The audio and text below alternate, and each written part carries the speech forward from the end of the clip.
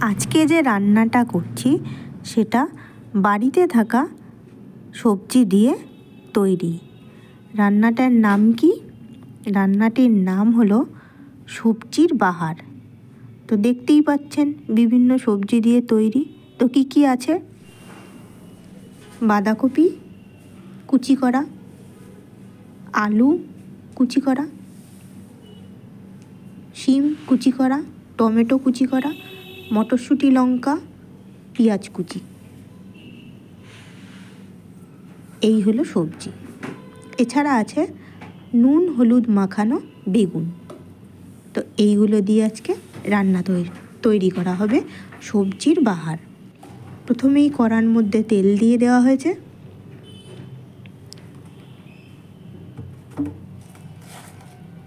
তেলের মধ্যে পাঁচফোড়ন দিয়ে দেওয়া হলো।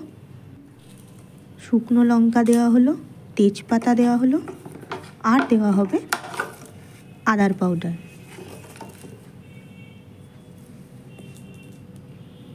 একে একে সবজিগুলো দেওয়া হবে, মটরশুঁটি, কাঁচা লঙ্কা,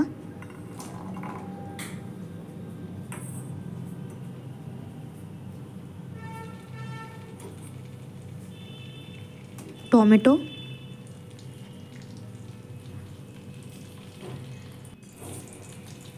পেঁয়াজ কুচি, শিম কুচি, আলু কুচি,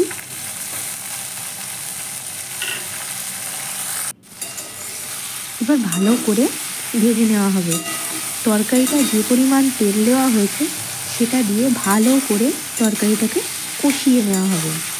আর জল কিন্তু দেওয়া হবে না। একদম তরকারি শেষ মুহূর্তে জল দেবে। আগে ভালো করে তরকারিটা কড়াতে কষিয়ে নেওয়া হবে।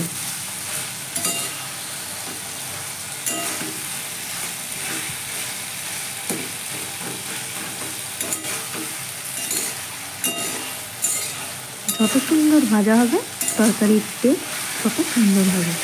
বাড়িতে থাকা জিনিস দিয়ে তৈরি আজকে তরকারি।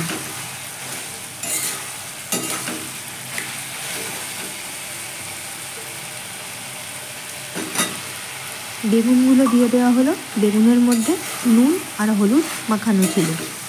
যার ফলে বেগুনগুলো নরম হয়ে গেছে।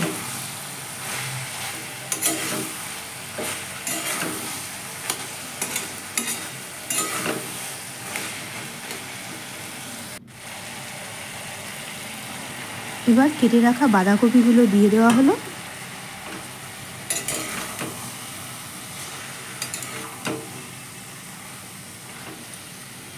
ভালো করে মিশিয়ে নেওয়া হচ্ছে।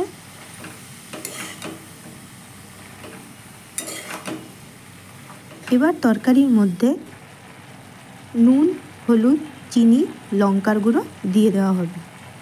দিয়ে ভালো করে মিশিয়ে নেওয়া হবে এবং একদম শেষে এর মধ্যে ধনে পাতা আর গরম মশলা দেওয়া হবে। আর এখন একদমই জল দেওয়া হবে না, ভালো করে এটাকে কষিয়ে নেওয়া হবে। যখন তরকারি থেকে তেল ছাড়বে, তখনই এর মধ্যে জল দেওয়া হবে এবং ভালো করে ঢেকে কষিয়ে কষিয়ে তরকারি কিন্তু তৈরি হয়ে যাবে। তো এইভাবে আমি তরকারিটা আজকে বানিয়েছি, তো আপনারা এইভাবে দেখতে থাকুন।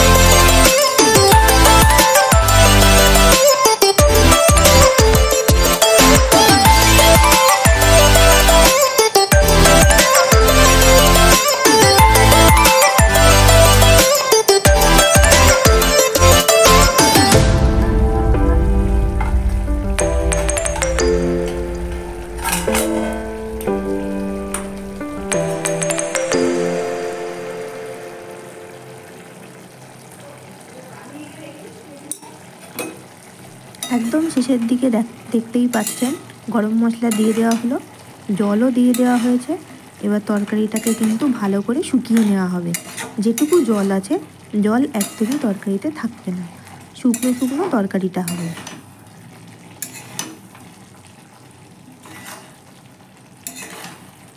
ভালো করে তরকারিটাকে জলের মধ্যে কষিয়ে নেওয়া হচ্ছে।